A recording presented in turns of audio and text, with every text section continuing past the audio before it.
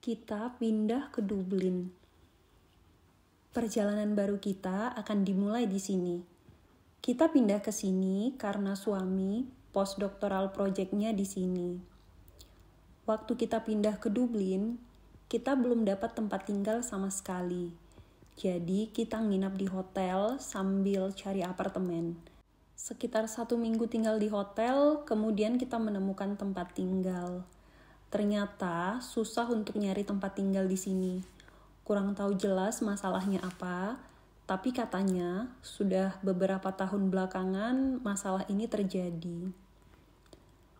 Jadi, kalau kami bisa dapat tempat tinggal itu dalam waktu satu minggu, itu keajaiban sih. Kami udah cari secara online sejak dari November tahun lalu, tapi nggak ada yang nemu. Makanya kita mutusin untuk pindah dulu, kemudian kita cari setelah sampai di sini. Pindah ke tempat yang baru dan gak punya siapa pun yang dikenal, di satu sisi kita excited, tapi di sisi lain juga ada khawatirnya. Akan gimana ya nanti di tempat baru.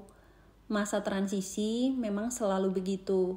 Excited, tapi juga ada khawatirnya. Sangat bersyukur kita ngejalaninya sama-sama. Tapi lebih dari itu, kita ditolong Tuhan untuk mengingat bagaimana masa transisi yang dulu juga pernah kita alami waktu pindah ke Denmark dan Finlandia.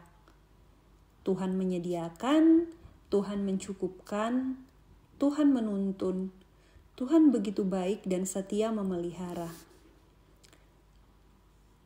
Mengingat kebaikan Tuhan di masa lalu, memang gak pernah gagal membuat kita bersyukur. Bukan hanya bersyukur, tapi juga meneguhkan kaki kita yang goyah karena kekhawatiran manusiawi kita yang berusaha untuk menggoncangkan iman. Dalam perjalanan bangsa Israel, berulang kali Tuhan mengingatkan mereka untuk membuat batu atau ritual pengingat setiap kali mereka mengalami pertolongan Tuhan. Kepada mereka Tuhan bilang untuk menceritakan perbuatan Tuhan kepada anak cucu mereka. Sebagai manusia pelupa, betapa kita perlu untuk belajar mengingat setiap perbuatan Tuhan di masa lalu. Saat keadaan sulit, kita cenderung melihat semuanya gelap. Tapi uniknya, saat keadaan berjalan mulus tanpa tantangan, kita sering lupa kepada Tuhan. Karena itu, kita perlu mengingatkan diri sendiri untuk memuji Tuhan dan mengingat segala kebaikannya. Sama seperti pemazmur. Pujilah Tuhan hai jiwaku, dan janganlah melupakan segala kebaikannya.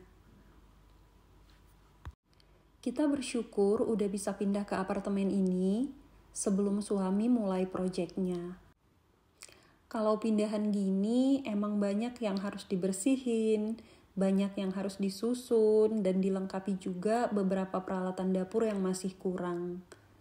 Kita berberes yang besar itu sampai dua hari, sisanya nyicil sedikit-sedikit setiap hari.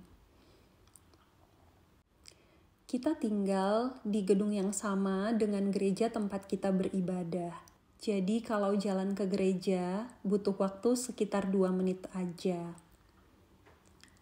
Kita memilih beribadah di gereja ini bukan karena kita tinggal di sini, tapi sebelum menemukan tempat tinggal, kita udah memutuskan untuk beribadah di sini.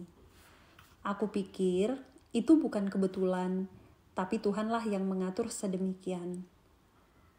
Aku percaya bahwa Tuhan sepenuhnya memegang kendali bahkan setiap detail dari kehidupan kita, dan itulah keteguhan hati bagi setiap orang percaya.